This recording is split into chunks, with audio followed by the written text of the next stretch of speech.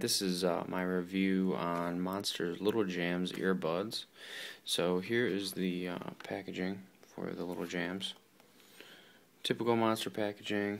Uh, I'm not going to go ahead and open it up, but it slides out and there's a magnet and all that good stuff. But this is not an unboxing video, this is a review.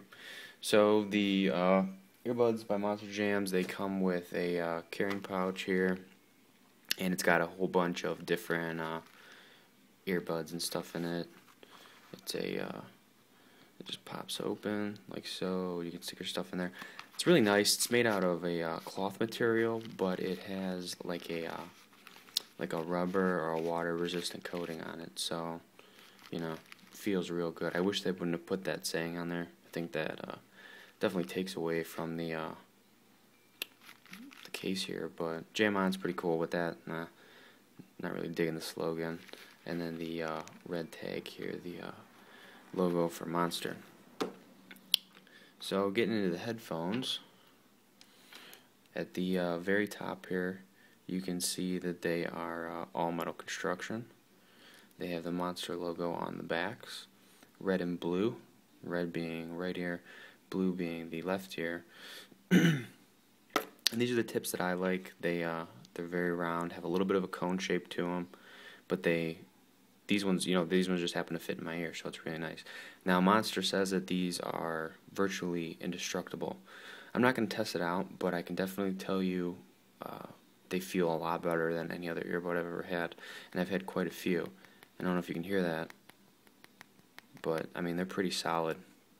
Um, Monster says that they chose to make them out of all metal so that there's no resonating from uh, plastic, which is pretty good. And then if we go a little bit deeper in here and we see without the tip on there, I don't know if this camera's going to focus or not, but you can see that it's all metal, even, you know, this part right here, which is really good. And nothing feels loose on it, it all feels very sturdy, even the connector that connects here to the, uh, to the wire. Going down the headphone a little bit, there is a slider that moves back and forth and that's just for when you're tying up the headphones kind of connects it a little bit better. And then we have the splitter. It says Lil' Jamz on it. Once again all metal. The headphones also come with a uh, clip. So I like to use the clip. I think it's nice that they threw it in there. Kind of takes the stress off the ears. The cables aren't pulling on your uh, on your ears when they're in there. I like it. It on my shirt there. And then the uh, one of the most important parts is uh, the plug here. So it's standard 3.5 millimeter. You know, fits in everything. I'm using it on uh, the new iPhone. That's uh, actually I'm recording this video right here, and it's gold plated. So you have a really good connection. Um, so how I feel about the headphones overall is that they have great sound. Uh, I listen to all kinds of music, from uh, classical to rap, and everything's really good. The mids are good, the highs really peak and they sound nice without getting uh, uh, I don't know how to I don't know how to put it, but chintzy on you. And then the basses, they're not. It's not. It's not super low bass. You know, it's not resonating. Uh, but I mean, if you listen to rap music, it it, it sounds pretty good. It's not. Uh, you're not gonna get the same effect as an over ear, but for being in your headphones, definitely sounds really really good especially when you have a, like a bassy track, like uh, I don't know, some Young Jeezy or something. So overall, headphones are really good. Uh, Monster's website says they uh, retail for 89 or something like that.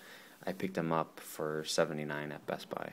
So um, I really uh, had a problem with Monster products before when they came out with the uh, uh, the Beats by Dre tours, and uh, those were horrible, hurt my ears, and uh, one of the speakers blew out uh, within like the first hour that I had it. So, but uh, these ones, you know, I took a chance with them because they were only 79 bucks, and uh, they're really, really good headphones. Definitely recommend them. Do not get the uh, Beats by Dre tours. Um, for the amount of money that you're going to spend on those, you can go ahead and get like two pairs of these and I don't know, give one to your mom overall, Lil' Jamz, it's a buy.